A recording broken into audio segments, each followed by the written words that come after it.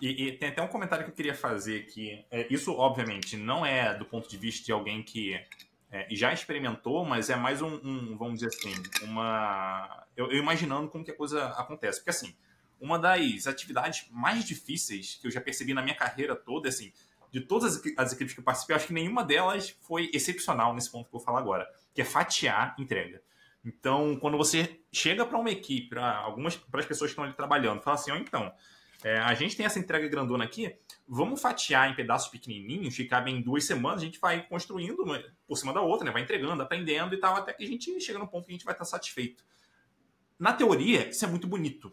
Só que, como fatiar é um negócio muito difícil, então o que acaba acontecendo que eu percebo é, ah, para fazer essa entrega grandona, cara, vamos fazendo aqui, vamos fazendo o primeiro sprint, aí vaza para a segunda, aí vaza para a terceira, para a quarta, quinta, a coisa vai, tipo, sabe, virando uma bola de neve, você não consegue, ou demora muito tempo para chegar lá na ponta, é, porque você vai acumulando isso. Você aceita a ideia de não ter uma entrega, vamos dizer assim, pronta, entre aspas, pronta, né, pelo menos parte dela, no final da sprint. Então você se acostuma com a ideia de uma coisa vazar para frente, depois a outra e tal. Agora, quando você fala de seis semanas, fatiar já talvez já não seja mais tão difícil, porque o tempo é maior, é, mas ao mesmo tempo ele não é grande o suficiente a ponto de você relaxar, como se, você comentou, uhum. como se fosse um ano. Então, eu acho que é, é interessante essa sacada de você criar um tempo maior ali, é, porque isso facilita justamente a parte de, de, fatiar, né? Que normalmente, pelo menos na minha experiência, uma das partes mais difíceis ali quando a gente vai, é, é, de fato, escolher o que a gente vai fazer do produto e como que a gente vai, de fato, entregar aquilo.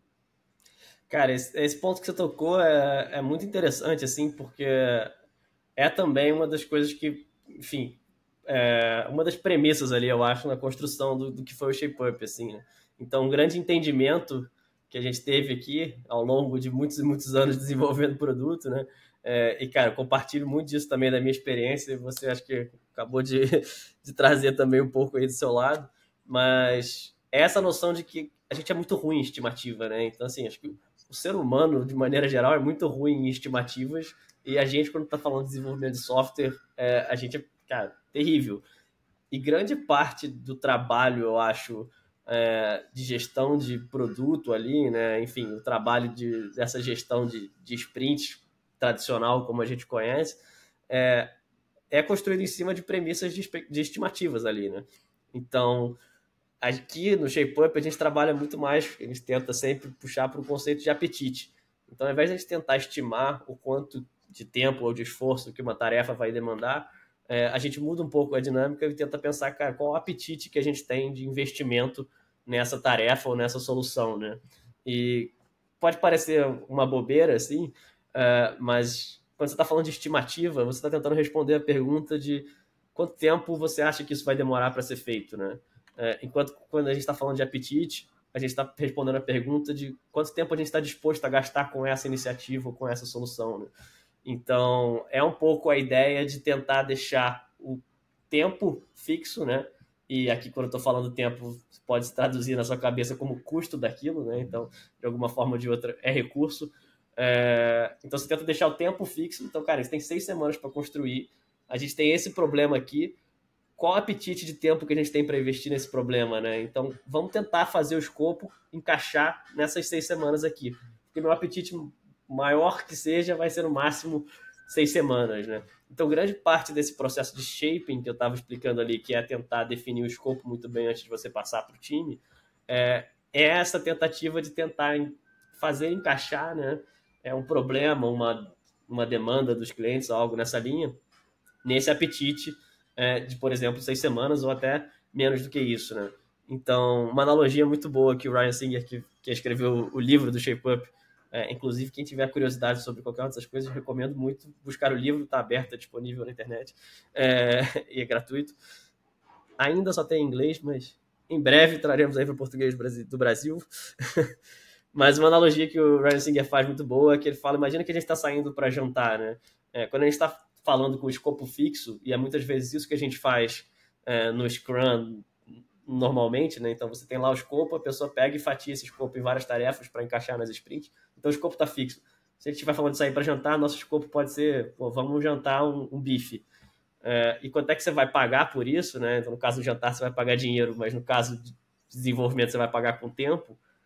O custo é whatever it takes, né? Custe o que custar. Então, o que você vai fazer, efetivamente, é exatamente isso que você falou. Você vai quebrar esse escopo para caber numa sprint. Se não couber nessa sprint, beleza, você vai jogar na próxima e você vai concatenando várias sprints. E no fim do dia você não tem muita noção do quanto aquilo está realmente te custando, né? Você pode acabar demorando duas sprints ou quatro porque você estimou mal é, o esforço daquelas tarefas. E a gente sabe que quando você pensa numa coisa na sua cabeça, na teoria, é muito bonito, mas quando você pega para fazer, é, principalmente quando a gente está falando de desenvolvimento de software, cara, acontecem N intercorrências, N coisas inesperadas, complexidades, tem que fazer update ali de uma gem, alguma coisa, uma biblioteca, enfim. É, todo mundo sabe que quando você pega para fazer, você descobre um monte de coisa e não é tão simples quanto que foi mapeado. Né? Enquanto que se a gente estiver falando é, do apetite, né? Então, é, a gente tenta travar ali o nosso custo, né? No caso, o custo ali seria o tempo. Então, ao invés da gente falar, vamos sair para jantar e vamos comer um bife, a gente fala, cara, vamos sair para jantar, a gente tem 20 reais aqui. Com esse dinheiro a gente pode comer uma pizza, um bife, um peixe ou qualquer outra coisa, sabe? E esse trabalho é justamente o trabalho de tentar adaptar o escopo ao seu apetite, né? Então, cara, o seu problema é sair para jantar. Beleza, você pode estar querendo bife por algum motivo, mas talvez uma pizza hoje resolva, né? Isso cabe dentro do seu apetite enfim, falei um pouquinho demais aqui, mas é, é, acho que é, é uma, uma premissa muito interessante, assim, da visão que levou à construção, né, do, do framework, enfim, que fez o ShapeUp é, ser construído aí, né, e justamente por esse tipo de questionamento, né, por esse tipo de premissa que eu acho que é uma alternativa revigorante aí o que a gente tem hoje no mercado. Não acho que é a resposta para todos os problemas, tá? Também não sou pregando que é isso, mas eu acho que tem muita coisa interessante que justamente você pode pegar e adaptar para a sua realidade.